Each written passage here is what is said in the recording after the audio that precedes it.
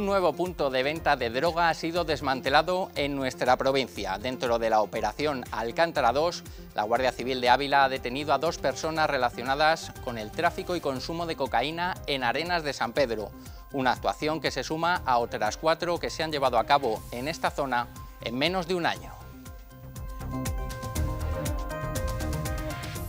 Bienvenidos, durante este informativo nos desplazaremos a la provincia por diversos asuntos. Y es que ahora comienza el espacio de las noticias aquí, en la 8 Ávila, una jornada en la que destacamos estos asuntos en titulares. En un día en el que se ha conocido que Soraya Sáenz de Santa María y María Dolores de Cospedal presentan su candidatura para presidir el PP, el partido en Ávila se prepara para el Congreso Extraordinario y lo hace celebrando la Junta Directiva Provincial en la que se hablaba de los dos candidatos que son diputados por nuestra provincia, José Ramón García Hernández y Pablo Casado, aunque este último no acudía a la cita. El secretario general de Podemos en Castilla y León, Pablo Fernández, ha estado en Arenas de San Pedro dentro de la campaña que le ha llevado por la capital y Arevalo en las últimas semanas y con la que pretende recabar las opiniones y necesidades de los vecinos con el objetivo de presentarlas en el debate de Estado de la comunidad. Fernández reivindica el ansiado hospital comarcal en el Valle del Tietar. Y en este martes 19 de junio también hablaremos de ciberseguridad que la provincia de Ávila sea ciberexperta. Ese es el reto que se proponen desde la Diputación y es que en Naturávila se ha llevado a cabo el programa Tignatur, que se centra en esta materia. Acudiremos hasta allí para conocer las claves del evento y las conclusiones de estos días de trabajo con los más pequeños. Es el día después de la entrada de Iñaki Urdangarín en el centro penitenciario de Brieva. Ha sido la primera noche para el exduque de Palma en la cárcel. La atención mediática en las últimas horas se ha centrado en esta cárcel abulense, a la que acudiremos en unos minutos para conocer más detalles de su condena y sus circunstancias en prisión. Y en tiempo de deportes, un nombre propio, Jonathan Prado, ex entrenador del Cristo Atlético que se ha presentado ya como míster del Real Ávila. Quiere que el equipo esté arriba y quiere que sea uno de los punteros tenemos la ilusión y lo que vamos a, querer es estar arriba y queremos estar arriba, pero, pero no el día 1, sino la jornada 38, poder estar ahí disputándoles a, todos los equipos o, o, los demás equipos a nosotros una plaza por los puestos de arriba. ¿no? Y de fútbol al baloncesto. El campus de baloncesto de la Fundación Pizarro regresa por cuarto año consecutivo hasta nuestra tierra. Será del 2 al 11 de julio cuando se celebre esta cita destinada a chicos y chicas de entre los 7 y 18 años y que volverá a contar con la presencia, entre otros, de Gustavo Aranzana. Hasta el viernes 22 de junio el plazo de inscripciones está abierto.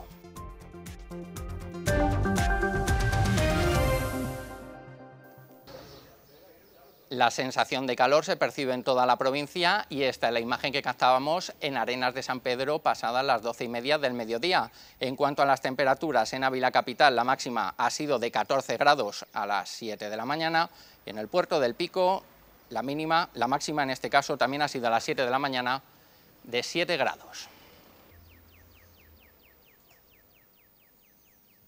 Comenzamos. La actualidad política vuelve a pasar por el Partido Popular. Después de conocer que esta mañana Soraya Sáez de Santa María y María Dolores de Cospedal optarán también a la presidencia, estas bueno, pues se verán las caras, entre otros, con los diputados por Ávila que ya se han presentado, que ya lo hacían oficial en las anteriores horas. Todas las miradas se centraban en la Junta Directiva Provincial, en ellos precisamente, una cita que se celebraba en la tarde de ayer.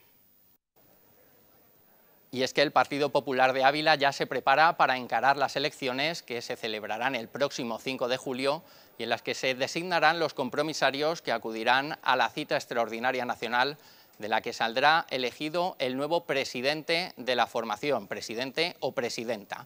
De esta manera, la Junta Directiva Provincial, celebrada, como decíamos, en la tarde de ayer, servía para poner en conocimiento de los afiliados los procedimientos de participación. En nuestra provincia podrán participar en este proceso de primarias unos 1.100 afiliados. Para el próximo Congreso Extraordinario del PP, la provincia de Ávila contará con 39 compromisarios, 9 natos y 30 electos. De estos 30, 28 serán elegidos por el Partido Popular y dos por nuevas generaciones. En total, en un total de 14 asambleas que se celebrarán en todo el territorio de nuestra provincia. Todos los afiliados de la provincia de Ávila tendrán libertad de voto para elegir entre aquellos precandidatos que consideren oportuno. Entiendo que esa es la grandeza de la democracia y, sobre todo, algo muy importante, que cada afiliado pueda elegir libremente sin ningún tipo de coacción.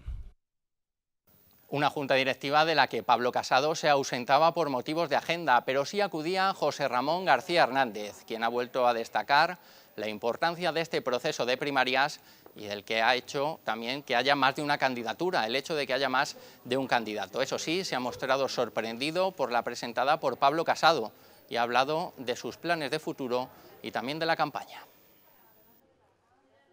porque no, no, en las conversaciones que habíamos tenido pues no me había comunicado que iba a concurrir. Yo sí que hablé con él para decirle que me presentaba. Y ahora, pues oye, pues se ha presentado y fenomenal, porque aquí es un proceso extraordinario. Dice dos cosas singulares, ¿eh?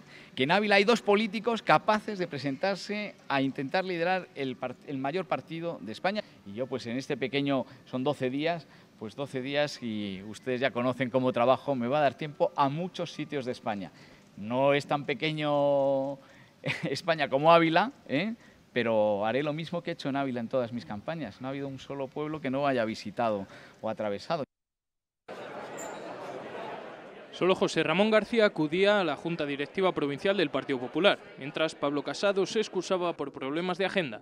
En cualquier caso, ambos candidatos centraban todas las conversaciones. Tengo que valorar, como no queda de otra manera, como las normas del juego y sobre todo, eh, como comentaba anteriormente, la grandeza que tiene la democracia, ¿no? La democracia del partido y sobre todo, sobre todo las primarias. Y respecto a si esta situación puede derivar en una crisis dentro del Partido Popular de Ávila. Para la provincia de Ávila entiendo que no es un problema y tampoco entiendo que sea un problema para el Partido Popular.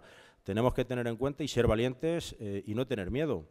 Si un partido aspira a ser eh, democrático internamente, sabemos que tiene que ser abierto, tiene que ser transparente y tiene que ser participativo. El presidente de los populares abulenses ha confirmado que ambos candidatos le informaron de su intención de postularse antes de hacerlo oficial.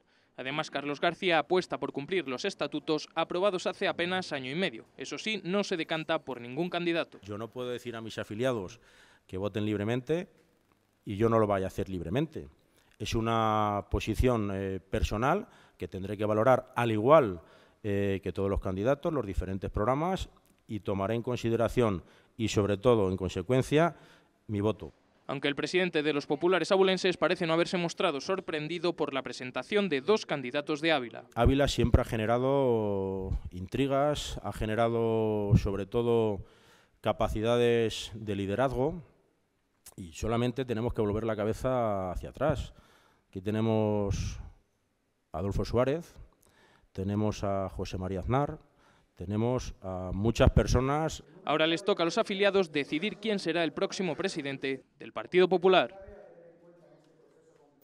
Y un último apunte respecto al Partido Popular. Según recoge la agencia EFE, las Cortes de Castilla y León no han podido localizar a cinco expresidentes de cajas de ahorros de nuestra comunidad que están llamados a comparecer en la comisión de investigación que analiza su funcionamiento. Una de esas personas con las que no han podido contactar es Agustín González. Y esto es lo que decía el presidente del PP de Ávila sobre ello. Yo ya los paraderos desconocidos de cada uno te puedes imaginar, si no lo localizan las diferentes administraciones, ¿qué va a hacer un simple presidente de un partido? ¿no? Entiendo que ahí tendrán que haber los cauces pertinentes de notificaciones, pues como los hay con cualquier administrado en todo el territorio nacional. El secretario general de Podemos en Castilla y León, Pablo Fernández, ha visitado Arenas de San Pedro. Es la tercera parada en la provincia dentro de la campaña ¿Qué Castilla y León quieres?, que realiza a pie de calle previa al debate sobre el estado de la región para recabar las demandas de los ciudadanos. Un hospital comarcal para el Valle del Tietar, el apoyo a las pymes y una política en materia forestal adecuada son las principales reivindicaciones recibidas por Podemos en el Valle del Tietar, reivindicaciones que defenderá en las Cortes. Entendemos que es injustificable el abandono al que está sometido el, el Valle del Tietar Nosotros pedimos, en primer lugar, la, construcción de ese hospital comarcal para el Valle del Tietar y mientras se construya que haya un convenio integral con, con Talavera de la Reina. El balance que el líder de Podemos en Castilla y León hace de la campaña en la provincia es muy positivo. Estamos seguros de que está germinando una primavera de cambio, de que la provincia de Ávila va a ser uno de los, una de las puntas de lanza del cambio en, Castilla y León y la verdad es que muy contentos con, con la acogida y esperando que por fin el año que viene, si llegamos a, gobernar la Junta de Castilla y León, poner a Ávila en el centro de las políticas autonómicas. En torno a 5.000 kilómetros habrá recorrido Pablo Fernández cuando el próximo jueves finalice su periplo en Valladolid con la presencia de Pablo Iglesias. Y ahora hablamos de la crónica política municipal de la mano de Izquierda Unida. Y es que Izquierda Unida recuerda al equipo de gobierno que en mayo de 2016 y por unanimidad el Pleno aprobó la puesta en marcha de la experiencia piloto para peatonalizar los fines de semana estivales el casco histórico. Y de eso no se ha hecho nada, recuerda Izquierda Unida. Desde la formación de izquierdas precisamente tildan la situación de incomprensible parálisis, de dejadez y falta de ánimo, ya que les acusan al equipo de gobierno de estar decididos a no hacer nada en este tema. Por su parte, Juventudes Socialistas se quiere sumar a una campaña nacional que quiere visibilizar la situación de las refugiadas sirias. En este sentido, el secretario general de Juventudes Socialistas de Ávila, Felipe Paredes, ha dado a conocer esta iniciativa con motivo del Día Internacional del Refugiado, afirmando que las cifras de exiliados son estremecedoras y por eso no se puede dar la espalda a esta realidad. El pasado mes de marzo, la plataforma Ávila Libre de Peaje remitía a los distintos defensores del pueblo escritos anunciando sus demandas. La defensora del pueblo europeo les ha remitido directamente a la Comisión de la Unión Europea, trámite que desde la plataforma ya han realizado. El procurador del Común de Castilla y León ha señalado que el asunto es competencia del Gobierno central, aunque ha acordado remitir la queja al defensor del pueblo.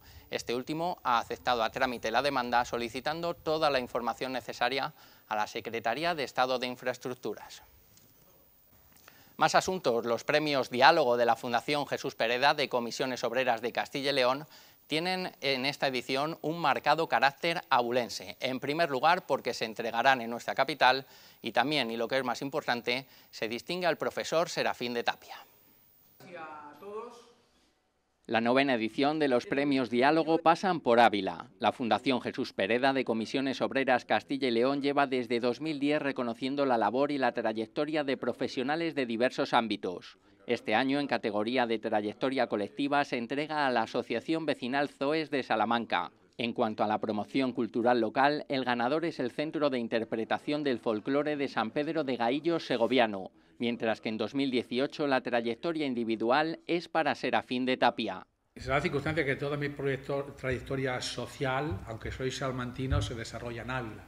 Yo al acabar la carrera vine aquí, fue mi primer trabajo y, aquí he seguido. Vine un momentito, un trabajo, el primero, eh, y al final fueron 43 años, que son los que sigo viviendo en Ávila. Rescata a los nuestros, por decirlo así, de una manera, es decir, gente cercana al mundo del trabajo y que el sindicato tiene una deuda con ellos. Unos galardones que se entregarán este jueves día 21 a las 8 de la tarde en el auditorio de la Fundación Ávila. Una gala que, que va a hacer homenaje a hombres y mujeres comprometidos desde el mundo de la cultura hacia el mundo del, del trabajo y, es una gala completamente abierta. Abierta a todos con un marcado carácter simbólico. Y no dejamos los premios porque en esta jornada se entregan los de la Confederación Abulense de Empresarios. De los nueve galardones que entrega Confae, dos en esta edición son nuevos, el de Joven Empresario y el de Valores Humanitarios. A esta cita, que se desarrolla a partir de las 8 en el Lienzo Norte, acudirá el consejero de Empleo, Carlos Fernández Carriedo.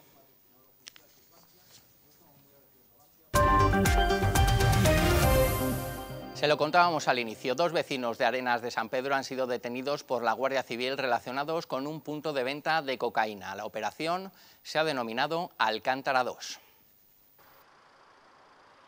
La Guardia Civil de Ávila desmantela un punto de venta de cocaína en Arenas de San Pedro. Todo se inicia con las sospechas de un posible tráfico y consumo de sustancias estupefacientes, y las primeras pesquisas se centraron en un vecino de esta localidad con antecedentes policiales y judiciales por el mismo hecho. Después se comprobó que el investigado se dedicaba al menudeo de droga con la ayuda de otra persona que se encargaba de los desplazamientos. Como resultado se han incautado 17 gramos de cocaína compacta, erradicando con ello un punto de venta, que se suma a otros que con anterioridad han sido desmantelados en esa misma zona abulense. Ayer la vorágine informativa a nivel nacional se centraba en nuestra provincia, en concreto en Brieva. Hoy les contamos que la normalidad ha sido la tónica en la primera noche en la cárcel para Iñaki Urdangarín, que ya sabe lo que es estar solo 24 horas. Así cumplirá al menos 17 meses en la prisión abulense. Con normalidad se han desarrollado las primeras horas en la cárcel para Urdangarín y de momento instituciones penitenciarias no ha dado ningún paso para su traslado, lo que hace pensar que este será su lugar de ingreso definitivo. Si algo marcará el cumplimiento de su pena será la soledad, ya que comerá solo y hará ejercicio solo en un pequeño patio anexo al módulo de hombres. Este dispone de una pequeña sala con máquinas de gimnasio y también de una sala de televisión.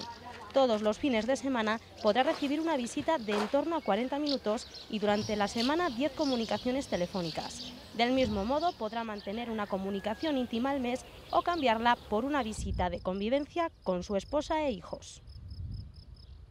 Hace unos días veíamos cómo Ávila era nombrada la primera capital ciberexperta de España. Ahora el reto es llevar este título a la provincia, una labor que se está desarrollando en Naturávila con el programa Tignatur. Ellos son una buena muestra de los ciberexpertos que se están formando en la provincia, cerca de un centenar de alumnos de las comarcas del Valle del Tietar y La Moraña que están realizando su estancia en Naturávila. Desde septiembre hasta el día de hoy han sido más de 700 niños los que han pasado por Naturávila y han participado en este programa de ciberseguridad, el cual es impartido por funcionarios del Cuerpo Nacional de Policía. Porque nuestros alumnos eh, disfrutan eh, de una educación del más alto nivel. Somos eh, la, la comunidad autónoma que mejor educa y eso es gracias a que tenemos magníficos profesionales, a que se invierte en educación. Y durante este 2018 se espera que se formen como ciberexpertos cerca de mil niños de la provincia entre 9 y 11 años con este programa TIC Natur. Formar a los niños y adolescentes en ciberseguridad es fundamental, de hecho a veces son ellos los formadores casi de los padres en algunas ocasiones. Está bien que vayan detectando los peligros que puede tener Internet, sabiendo que tiene muchísimas ventajas. El curso aquí en Ávila se ha dado seis horas a cada grupo y aquí igual y fundamentalmente se les explica que no es malo usar las redes sociales, forman parte de nuestra vida, pero que hay que hacer un uso responsable y un uso seguro. Y de esta manera poder extender el título de Capital Ciberexperta a toda la provincia. Un programa que se clausuraba para este curso 2017-2018 con una demostración de las unidades caninas del Cuerpo Nacional de Policía. Ya se encuentra abierto el plazo para presentar las solicitudes de ayudas para libros de texto y para la realización de actividades extraescolares y culturales. En el caso de los libros de texto se destinan a alumnos de educación obligatoria matriculados el pasado curso en nuestra ciudad y las ayudas para actividades culturales y extraescolares corresponden al año 2018. Ambos plazos finalizan el 9 de julio y las bases se encuentran en el Registro General del Ayuntamiento, en la Oficina de Atención al Ciudadano, en la página web municipal y en el área de cultura. Casi 60 cursos conforman la programación de la Fundación Ávila para el próximo periodo, desde octubre hasta junio de 2019. De ellos, una treintena son nuevos y se espera llegar a los 1.500 alumnos, superando con ello a ediciones pasadas. Tienen ya una larga trayectoria y mucho interés entre los abulenses. La Fundación Ávila ha presentado su programación de talleres y cursos para la próxima temporada. Gran número de, de abulenses que, interesados en venir a, a, ver las aulas y los talleres de, de la Fundación. Diferentes disciplinas se tienen en cuenta, literatura, filosofía, historia y arte, idiomas, plástica o tecnología, son solo algunas de ellas. Para Bankia es muy importante el, número de personas que pueden beneficiarse eh, de los cursos. Estamos hablando de cerca de 1.500 personas. Con un precio de matrícula de 20 euros, algunos incluyen viajes opcionales que añaden un atractivo mayor a la dimensión formativa. Tal es así que este año se podrá viajar a Japón o al Medio Oriente en algunos de los novedosos cursos programados. Los cursos más demandados son los de Historia del Arte, de Plástica, tanto para niños como para adultos y también los de idiomas. Y luego pues, hay que destacar también los viajes que algunas, algunos cursos llevan como actividad complementaria. A los cursos de al menos 10 días de duración se suman talleres, conferencias y otras actividades. La inscripción ya está abierta y entre las novedades se halla también un curso de lengua de signos, una disciplina dedicada al medio ambiente. Y una buena noticia que nos llega desde Sevilla. El actor abulense Nacho Sánchez se convierte en el más joven en ganar el premio Max en la categoría de Mejor Protagonista tras 21 ediciones. El reconocimiento se entregaba ayer en Sevilla en el marco de estos prestigiosos galardones de las artes escénicas. El motivo, su papel en el monólogo Iván y los perros, que ha sido aclamado por los expertos del séptimo arte.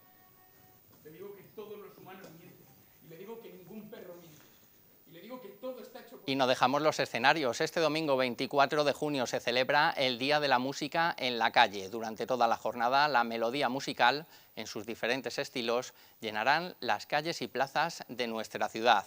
Además, como cada año, también por el Paseo del Rastro, acogerá la Feria del Disco que abrirá sus puertas un día antes, el sábado día 23.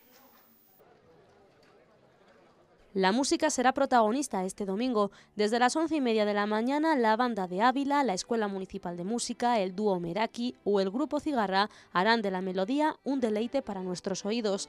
De hecho, este último grupo llevará a cabo a partir de las 7 de la tarde una ronda amurallada desde el Arco de la Malaventura y hasta el Arco del Mariscal y el Chico. Por la mañana, desde las doce y media en el Episcopio, eh, quien quiera pueda acercarse o bien con un instrumento aunque sea una sartén o un almidez, y ellos les eh, darán eh, pues, letras de canciones de manera que bueno será una especie de ensayo de lo que luego será la ronda.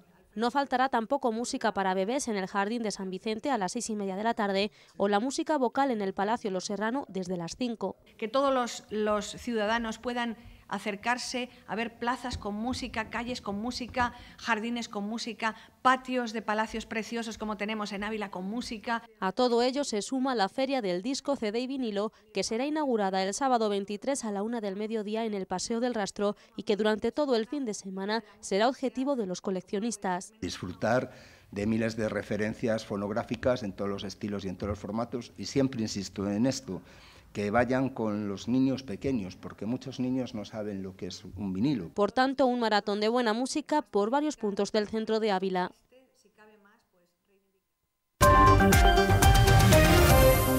Es momento para el deporte.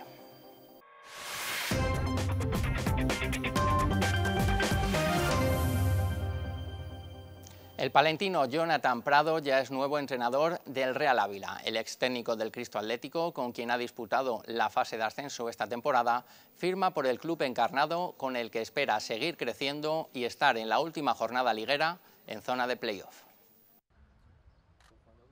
Tras desvincularse a mediados de la semana pasada del Cristo Atlético, Jonathan Prado entró en las quinielas del Real Ávila para ocupar su banquillo.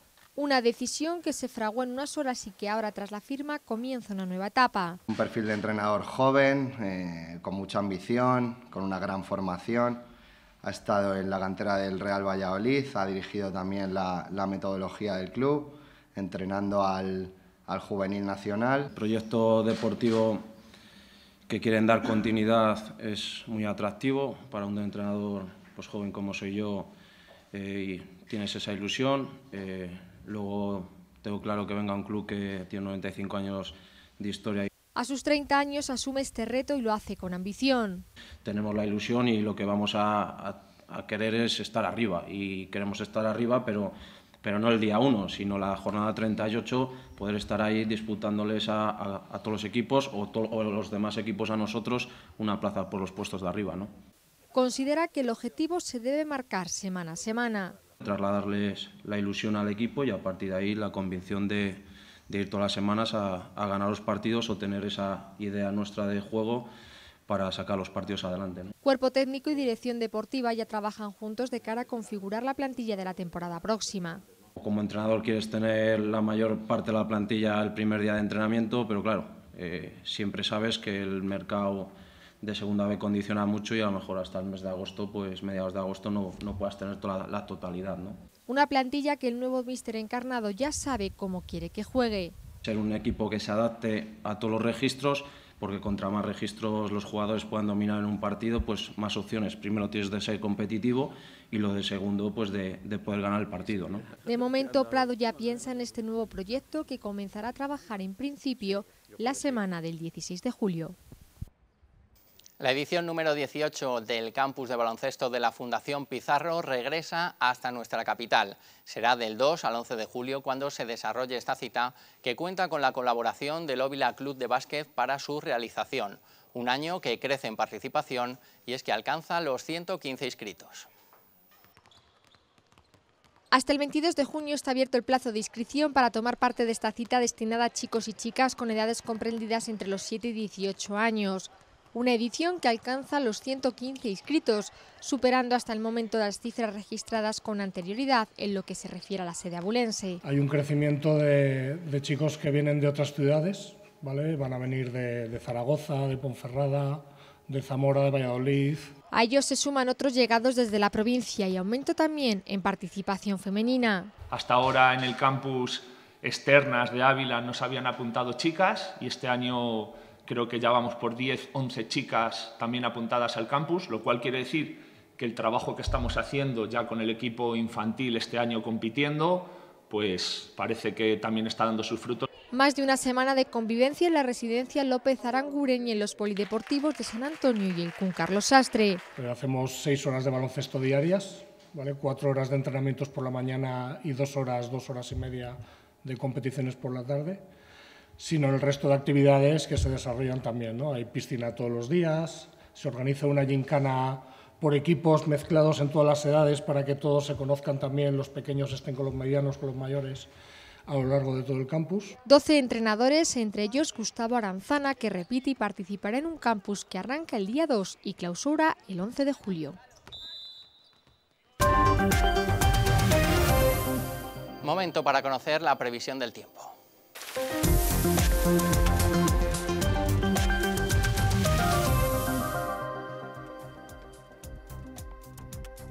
Tras unos días sin precipitaciones, estas podrían volver en la jornada de mañana miércoles a la provincia abulense.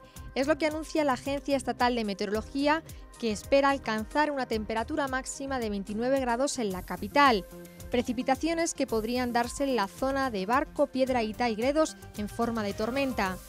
Episodios tormentosos que podrían repetirse también en el Tietar aunque en Candeleda, como van a ver, se va a registrar la temperatura más alta de toda la provincia, siendo esta de 36. Arenas de San Pedro registra una máxima de 34. Burgondo se queda con una máxima de 30, Navaluenga con una de 31 o Ladrada con una máxima de 33.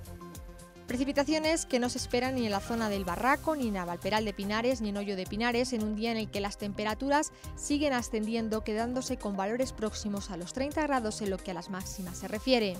A continuación vemos de manera resumida la previsión para mañana en la capital con una máxima de 29 grados, una mínima de 16 y nubes de evolución. De cara a los próximos días las temperaturas se mantienen prácticamente sin cambios y tenemos que estar atentos a los cielos. Pues con el calor nos despedimos. Gracias por estar ahí y hasta la próxima. Un saludo.